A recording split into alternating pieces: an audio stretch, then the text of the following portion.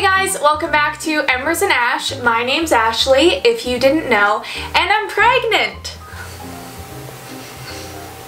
Yay!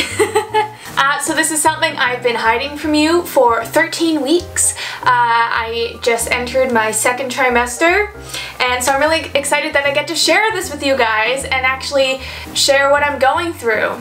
I feel like personally my videos over the past few months have been a little bit like maybe not subpar, but like lower effort because I have been a little ill, but I have big plans for the new year and I am feeling quite a bit better and I'm really excited for what my channel is going to become.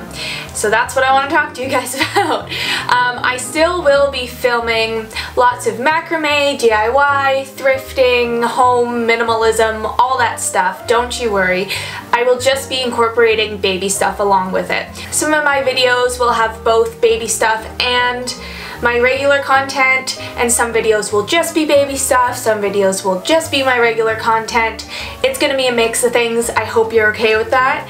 Um, I will warn you that I'm going to flood you with a bit of baby stuff this month just because I have a few videos that I've filmed about pregnancy that I want to get out there to catch you guys up and then look forward to, like I said, a good mix of everything. So I hope you guys are as excited about this baby as I am. I'm due in July, uh, which gives me seven months to prepare for this child. Um, I'll show you my bump in case you're wondering. I like don't have one.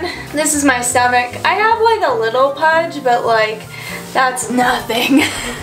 I'm so excited to have like a proper baby bump because I feel so pregnant and I want to look so pregnant, you know? But I feel like it's not going to happen for like another two months.